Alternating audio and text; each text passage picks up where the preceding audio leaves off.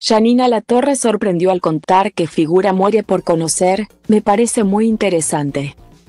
Janina Latorre tiene una ideología política bien marcada, si bien nunca dijo que es macrista. Libertaria o afín a alguno en especial, siempre mostró su descontento por el kirchnerismo.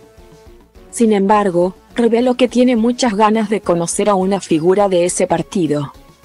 La explicación que dio es que hasta el personaje lo ve más allá de donde se encuentra en la brecha, sino por la inteligencia y carisma que tiene.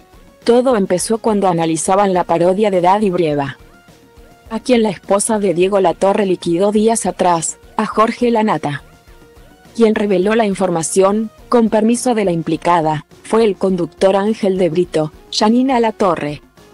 Me dijo una vez cuando estábamos charlando, que era fanática, la quiere conocer. Quería estar con ella, que le parece una mina súper inteligente, la admira, Cristina Kirchner.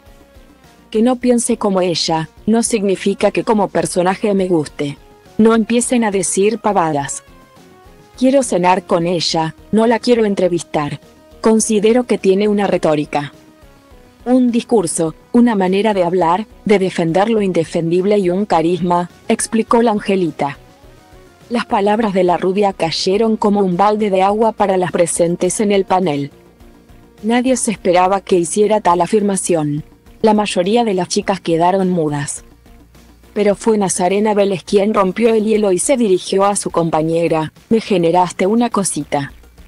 En contrapunto a la actriz, una de las angelitas se expresó, terminar condenada por corrupción a mí se me cae la cara. No me gustaría conocerla. Me parece un papelón. Bueno, a mí sí, como personaje histórico nuestro. De nuestra cultura, sí. De verdad lo digo.